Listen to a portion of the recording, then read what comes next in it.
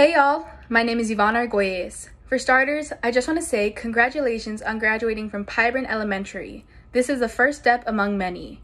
Seven years ago, I was in your shoes. I remember playing Jeopardy in the music room, playing Scarf Attack in PE, drinking hot chocolate while watching the Polar Express in the library, and singing the end of your talent show. I love Pyburn and know I am always welcome back. The same goes for you. Pyburn will always welcome you with open arms, even after you graduate. As a graduating senior in high school, I know this year did not end how we expected, but we have to be strong. A new adventure lies ahead. You're going to be middle schoolers pretty soon. It's go time. Show them what we Panthers are made of. Take it in and prepare for the road ahead. You may not know where you are going, and that's fine. At your age, I was set on becoming a mermaid.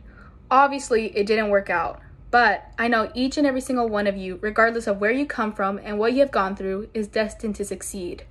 Y'all have such a life ahead of y'all. My only advice is that you never stop dreaming, never give up, continue to work hard in school, and never doubt yourself. I'm here to tell you, you are the future. You can be a doctor, you can be the president, you can be a teacher. In this life, with your potential, you can do anything. Just believe in yourself and keep taking those steps. Congratulations once again, my fellow Panthers. I wish you the best of luck.